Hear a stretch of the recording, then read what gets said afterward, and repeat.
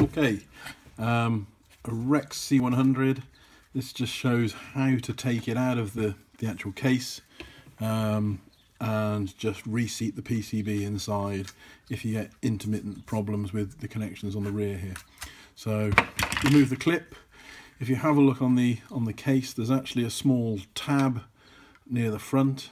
Now with a fairly small flat bladed screwdriver, you can just press down on that tab and if you press down on that tab in the top whilst pressing down you just pull slightly on the very front of the unit you should find it's a little tricky to do sometimes you should find that by pressing down and pulling at the same time you can slide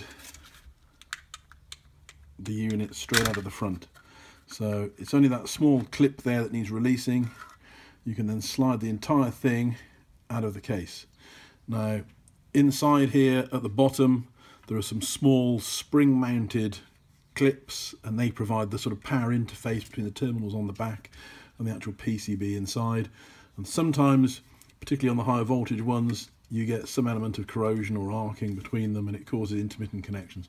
And you can normally see if there's a problem by just jiggling the front when it's actually um, in situ because sometimes the power will come and go. So the best thing to do once you've got that out is to just with a dry cloth or, or a paper towel is just gently rub the PCB connections on the top there, turn it over, rub the connections again on the bottom there, just to remove any elements of, of corrosion or oil or grease or, or anything else that may be present. Um, and then once you've done that, it's normally just a simple case of finding out where the, the hole for the clip is, realigning that with the, with the clip there, sliding the unit back in. And it's fairly simple to slide it back in. And then once it gets to that point, push home and that's it back together again.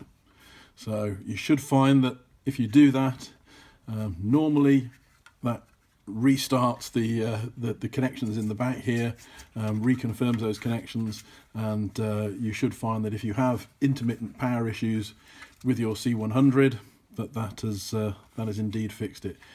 If it doesn't, then there's a chance that either the springs in the back um, need teasing out very slightly, and it's not too difficult to, to actually get inside the case and uh, with a, the aid of a pair of needle, needle nose pliers or a small screwdriver to actually bend the springs to make slightly better contact.